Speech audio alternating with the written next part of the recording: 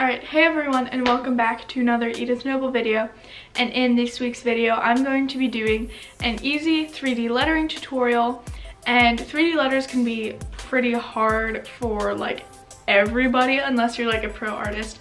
And so I am not saying that I'm the best at them, but these are th some things that help me um, do them better. And I love fonts and lettering, so let's get into it.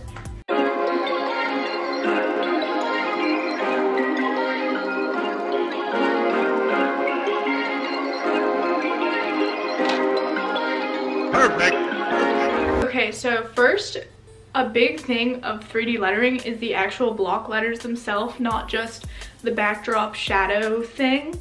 So first let's focus on the block letters. What you want to do to make them look a lot better is make all of the thicknesses of the line, you want to keep those all the same width and it doesn't matter what they are, one inch, two inches, depends on how big of a scale you're doing. For this, I think I did one inch. Um, and it just really helps it to look more uniform and a lot better in general. Okay, so the second thing to make your 3D letters look better is to choose a source of light. And I mean, you don't have to choose if it's the sun or a light bulb. You just have to choose where the light is coming from. It can be from the upper left-hand corner or the bottom right. It doesn't matter where, you just have to choose a place where the light's coming from so that you know where to put your shadows from. And typically your shadow lines go opposite of the light source.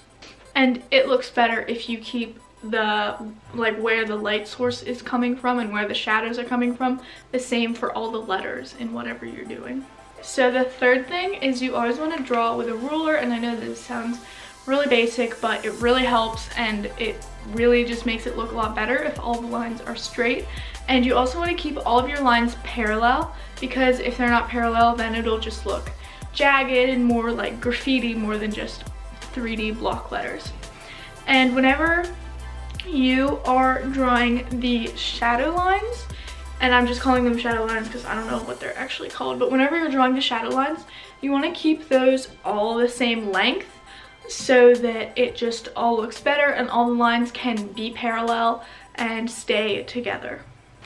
Okay, so for shading, there are a lot of different ways to do this, but the way that makes it look the best is whenever you shade from, like in the spaces of the sides of the letter and the shadowing of the letter, that the light source potentially, if it was there, couldn't reach. So like if the light source is in the upper right hand corner, then you probably want to shadow more on the left side of your paper or wherever, if there was say a little sun there, wherever the rays would not reach and wherever would be in shadow. And all of those lines will typically be the same like side, if that makes sense. And all the like parallel lines that you made earlier will probably all be shaded together. So I know of three main ways to shade and I know that I wrote two below, but there are three ways to color in your shading. And the first one is super simple. It's just color it a solid color or whatever. Um, and that's just super easy and probably the most well-known. The second is to do stripes because if you just do super thin stripes all together, squished, it just, I feel like it just looks like a shadow and it looks pretty nice.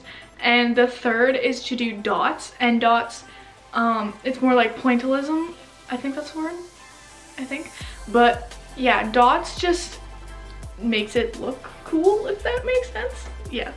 So hopefully now you have your finished block letter and I tried to go through all the steps that I know of. I kind of just made this up myself because these are the things that help me draw 3D block letters. So I hope you enjoyed this.